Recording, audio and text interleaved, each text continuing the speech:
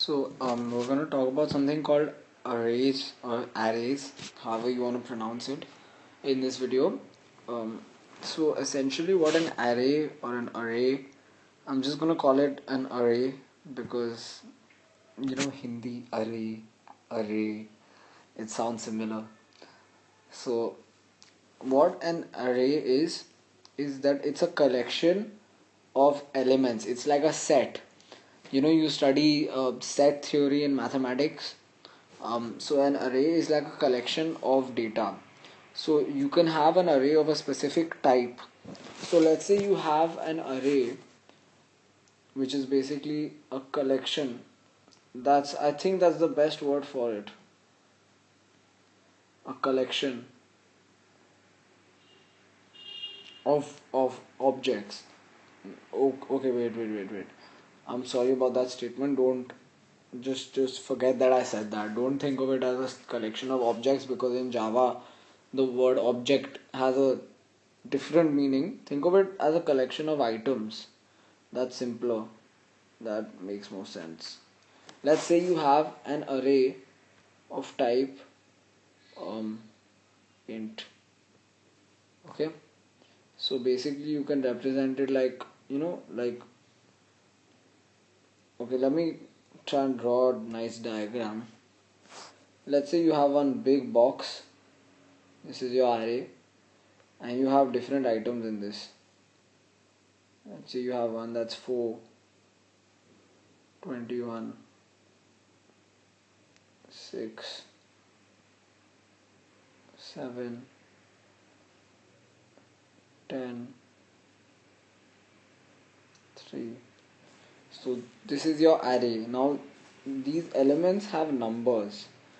This is the element as in they have positions not numbers they have positions. So every element has a specific position in this big yellow box which is the array. So this is position 0 1 2 3 4 5 now if I asked you the length of this array, which is the total number of characters, the answer would be 6. Now why is this? This is because um, computers, they number from 0 instead of numbering from 1. So you always go from 0 through 5 instead of 1 through 6. Keep that in mind, it's really important. It's something that will confuse, not confuse you, but it's, it's like a thing, it's a common error that people make 0 through 5 for an array of length 6.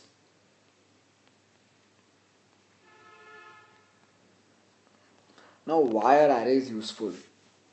Arrays are useful because essentially you can have a lot of things put in one set and you can access any of those one things at one time really fast. Let's say you have let's make my yellow box let's say I have one, three, five, seven, dot dot dot dot dot dot dot dot dot dot. Let's say I have like all the odd numbers till 99. Now if I wanted to find the 45th odd number, 45th odd number, whatever it is.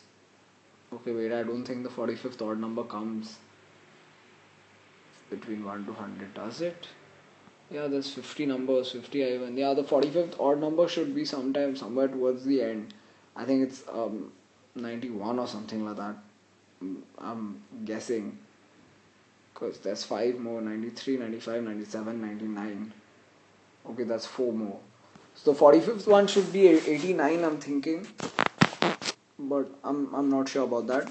Anyway it's irrelevant. If you had to find the 45th odd number, all you would have to do is look for the 45th element in this in this box. 45th element.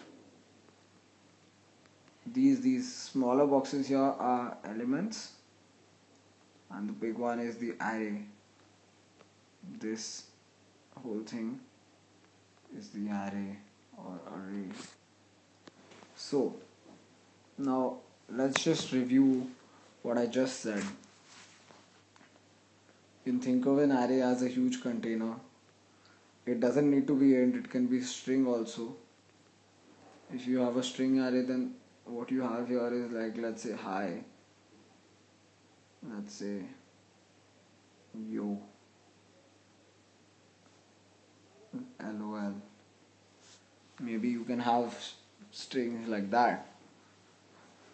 So that's a string array. Now, how do you represent an array in Java? okay let me show you that. So to declare an array you write let's say you want a string array string. Then you give a box bracket. Here's the variable name. A equals new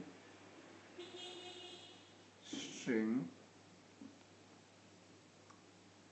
and you specify the number of elements you want let's say we want 6 that and a semicolon and we do that in a smaller string bracket a equals new.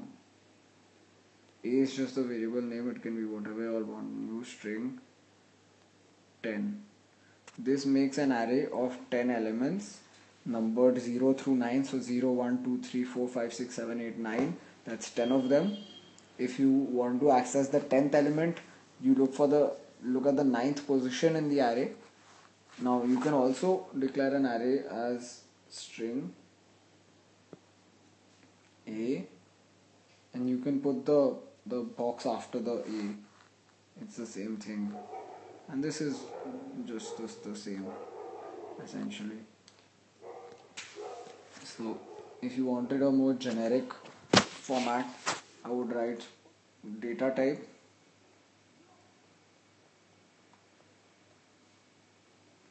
Var name for variable name equals new data type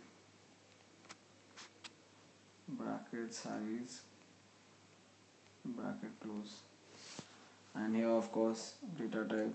I would prefer this way of doing it putting the the bracket after the data type because it makes your code cleaner it makes it look neater.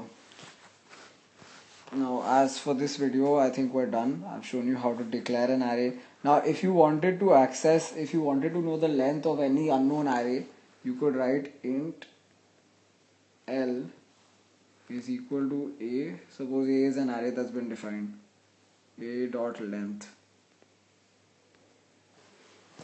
Length is an instance variable in A which you're accessing and you're storing that value in L. So if if you have an array of length 10 so L will be 10 so that's about it for this video. I hope you guys understood hope I haven't confused you too much. Have a good day peace. Don't forget to subscribe and comment and thumbs up and all that